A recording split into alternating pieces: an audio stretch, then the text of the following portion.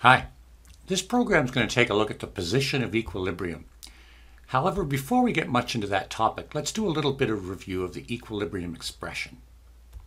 In general terms, the equilibrium constant is equal to the concentration of our products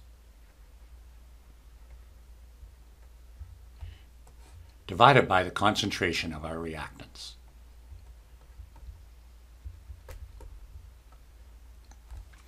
Here we're given an equilibrium expression and asked to derive from it the original equation. Well, we can recall that the top part gives us our product information. So this is going to produce carbon monoxide and three hydrogens. And this information is going to be about the reactants. So I can say we're going to have methane and water. And then we'll put in the equilibrium arrow. So that's the equation that corresponds to that particular expression. But again, I want to go back to this. We need to recall as we move into this unit what K is equal to, and in general terms, products over reactants. So here we have a simple equation where I have reactants forming products. And down below, I have five different scenarios once equilibrium has been reached. Let's start off with the simplest scenario, the one that I have directly here. This shows the concentration of my reactant and the concentration of my product at equilibrium. And I can see that I have equal amounts. That would then correspond to the equilibrium constant, then equaling product over reactant. It would be equal to 1. Graphically, this would look the following way. If I begin with no product, I'll let the reaction proceed forward. It would eventually level off once I've reached equilibrium. At the same time, my reactant concentration would drop down and level off at the same amount. So at equilibrium, I have equal amounts of product and reactant.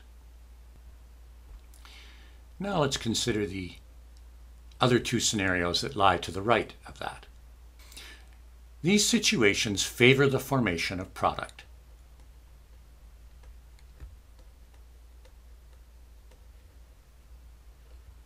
I can recognize that because I have a higher amount of product than reactant.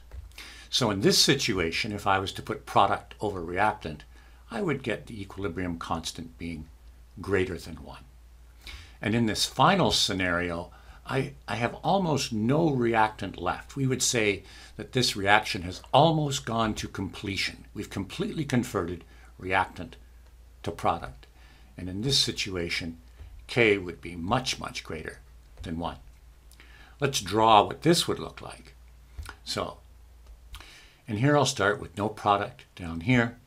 And in this scenario, almost all of the reactant is made into products. So I have almost nothing but product left in my container. And my reactant, on the other hand, completely consumed and dropping down to almost zero. Such situations, as I've mentioned, we would say favor the product, or we could say equilibrium lies to the right. Now let's look at the situations that are depicted over here. These favor the reactant.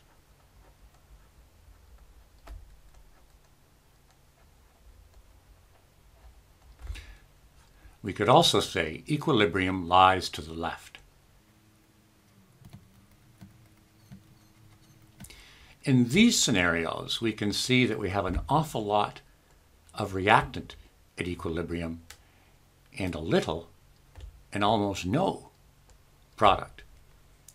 These scenarios would correspond to the equilibrium constant being less than 1, and in this scenario, the equilibrium constant would be much less than 1. Graphically, it would look the following. I start again with no product, but I would make only a little. And my reactant would hardly be consumed at all. So, the magnitude of the equilibrium constants gives us some idea of the relative amounts of products versus reactants. Let's apply this now to the following question. Here we have a particular reaction, and we're told that the equilibrium constant is 10 to the 20th. That's a situation where our constant is much, much greater than 1, which favors product. So I know that equilibrium favoring product, the equilibrium lies far to the right. Also in those scenarios, I have much more product than reactant. So that leads me to A. Thanks for watching.